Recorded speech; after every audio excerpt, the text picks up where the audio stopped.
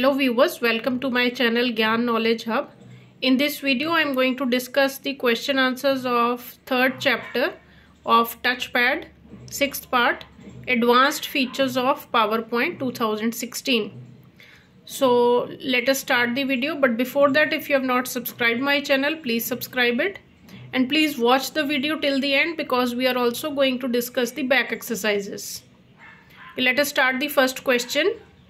What will happen if we select the print all slides option in the print settings while printing? If we select the print all slides option in the print settings while printing all the slides in the presentation will be printed. Next question. What is the use of action buttons? Action buttons can open a web page, an email, a linked file, another slide in the same presentation or a slide in a different presentation. Okay, C part. Explain notes page. Notes page includes your notes and each slide in your presentation. Next one, long answer type questions. Write the steps to insert a video file from the internet. So what are the steps? Number one, navigate to the video. Number two, copy its URL. Number three, insert it into your document using insert function. So these are the three steps. Next, write the names of three printing options. So three printing options are print all slides, print selection and print current slide. Next one is application based questions and the first question is your friend wants to create a PowerPoint presentation with recorded audio. Can you help your friends by writing the steps to do so? Okay, what are the steps? Step number one, click on audio command under the media group of the insert tab. Second, select the record audio option. It opens the record sound dialog box. Next, to record your voice, click on the record button and speak. Fourth step, click on the stop button to stop recording and the last step is click the play button to listen to your recording. Click on ok if you are happy with the recording. Now b part. Your classmates have created a presentation on the rivers in india. They are not able to add videos. Can you help them listing the steps? So what are the steps to add videos in a presentation?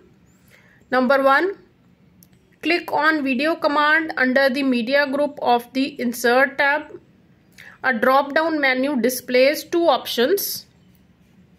Second step, select video on my PC option. This opens the insert video dialog box. Select the video file and click on the insert button. And the last step is the video will be added to your slide. So this was all for the question answers. Now let us do the back exercises. First one is mind drill. Tick the correct option. Which of these is not an audio type audio file type supported by powerpoint? And the correct option is .asf which of the following is not a correct audio option? Rewind after playing. Which of these is not a video files type supported by PowerPoint? And the answer is WMA.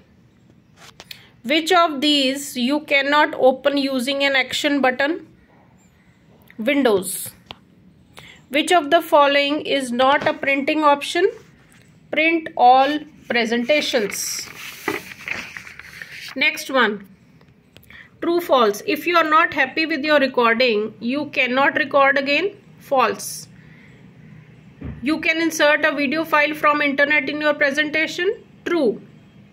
In a presentation, you can insert any audio files from your PC. False. We cannot take the printout of a single slide. False. Now fill in the blanks. Words are given.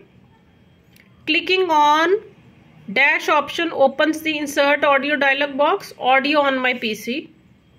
Clicking on dash button starts the recording. Record you can insert a video file from the media group in the insert tab. Action buttons are some built-in shapes which you can add to your slides.